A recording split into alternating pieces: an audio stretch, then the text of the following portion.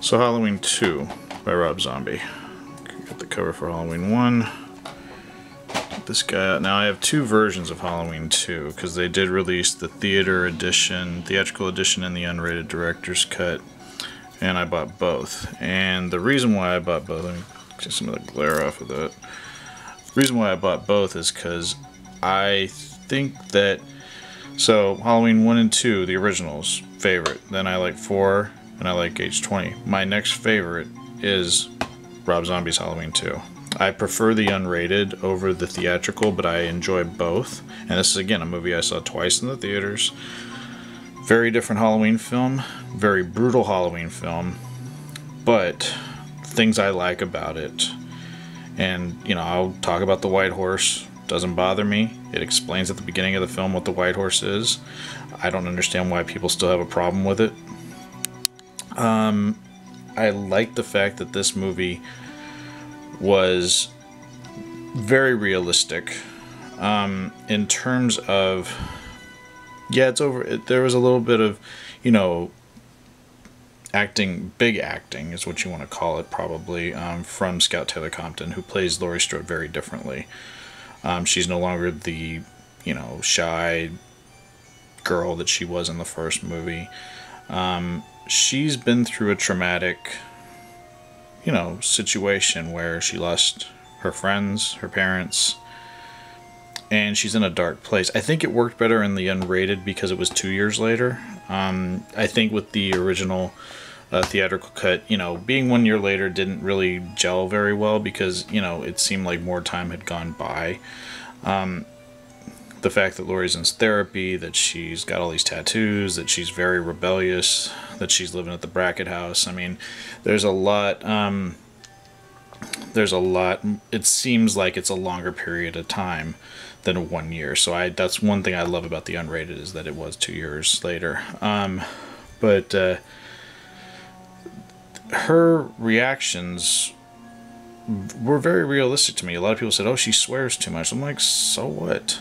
You know she's playing it she's not playing a, a jamie lee curtis uh, doppelganger she's she's playing a new version of Laurie, one that fits into the Rob Zombie universe.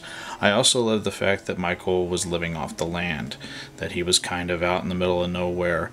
A lot of people didn't like that, but you know, the Hobo Myers is such a. I think it's probably one of the most definitive looks from Michael since the original. I mean, he is very creepy as the Hobo Myers. He's kind of out in the middle of nowhere, living off the land. I mean, when he kills the farmer and his family and eats the dog, that's just, you know, that made more sense to me. As much as I like H20, if H20 was supposed to take place after the original Halloween 2, yet granted it's 20 years later, why did Michael look like he had just, you know, like he was, had, had new coveralls, new mask, new everything. This looks like Michael was rough looking. His mask is all messed up, he's all dirty looking it's more realistic. Um, I still love H20, but I'm just saying, for people to say that it was that they didn't like that look or that didn't make sense, it does make sense. Um, there, there. Uh, the other thing people don't like about this is, you know, uh, the fact that uh, Loomis is so much more of an asshole in it. Um, he had touches of it in um, Zombie's original film, but in this one, he's even more so. Um, I liked it. Um, I think the strength of Malcolm McDowell as an actor made it believable um, because he can play those kind of characters and that kind of role. Um, we hadn't seen Loomis like that before. Um, Pleasence, you know, Pleasence was nowhere near this kind of person, but there's hints of it in Rob Zombie's original that Loomis was out for the fan. The being a he was out for people um, being interested in him. You know what he had written, and he failed Michael on a grand scale compared to the Loomis from the originals because the Loomis from the originals was still Michael's doctor and. Rob Zombie's Halloween, the original, or Rob Zombie's first Halloween movie, Loomis walks away. He just says, I can't do anything for you anymore because now he says, well, I've now he's got the book and he's got all this, and he writes a new book in this one, and uh, yeah, so yeah, Loomis was never out for for Michael for helping. He was out for himself. Um, the violence in this movie, I think, is tamer compared to um, the original Halloween, uh, with the exception of some of the scenes at the beginning in the hospital, especially when Michael kills the nurse. That was rough. I still think it's one of the roughest scenes. The grunting that people have a problem with, where Michael is grunting, he grunted in the originals. Um, watch Halloween 1 again. He grunts, he makes noises.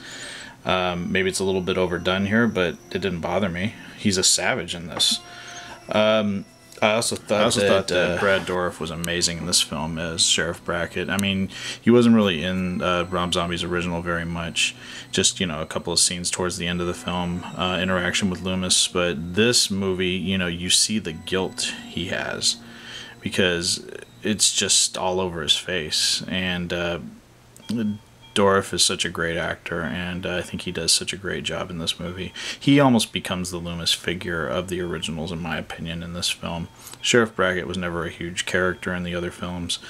So, you know, for them to expand on him and, you know, have such a great actor like Brad Dourif play him, I mean, he just stands out to me in this. And I think Zombie really improved his directing in this. I mean, he there's some great overhead shots of Michael walking through a field, like this giant field with trees all around him and some of these shots where you know you see young Michael talking for older Michael, where it's like a vision. I thought it was all very interesting. Um, now, of course, the movie's ending and the unrated and the theatrical are very different. Um, so, given what you know, I mean, who knows what Halloween three is going to be like? I prefer the unrated ending to the theatrical ending, but in terms of a sequel, um, if they are going to carry on from how the theatrical ending went, um, it's going to be curious. I'm going to be curious to see what they what they do with it in H3 if they followed Todd Farmer's original script, which was to carry on from H2. Um, but again, I love H2. I like it in both theatrical and unrated. Prefer the unrated, but that's just because I I like unrated cuts and I like to see what the director's vision originally was before it you know changes. So for me, I have no problem with H2. A lot of people do. Sometimes I don't understand why, um, but everybody has their own opinions. So finally, I'm going to talk about now, Halloween 25 Years of Terror documentary. Um, this is a very good documentary. Um, not my favorite. Um, I do prefer um, um, Psycho Legacy and uh, the uh, the Jason. Uh, his name was Jason, but that's because those I just I'm more uh, fan of those than this one, but this one is still good. Um, this came out before the Rob Zombie films, so this um, goes through the original Halloween series one through um, Resurrection, which uh, it's, it's, a good thing though. It's got uh, panels where they had the uh, 25 anniversary, 25th anniversary in Pasadena, so you get to see panels with uh, the cast and crew. Um, Moustapha Akkad was there. Um, it's really cool, and it's just uh, it's a nice little cap off to the series, um, the original series. So another good find. So um, that's my breakdown of the Halloween series.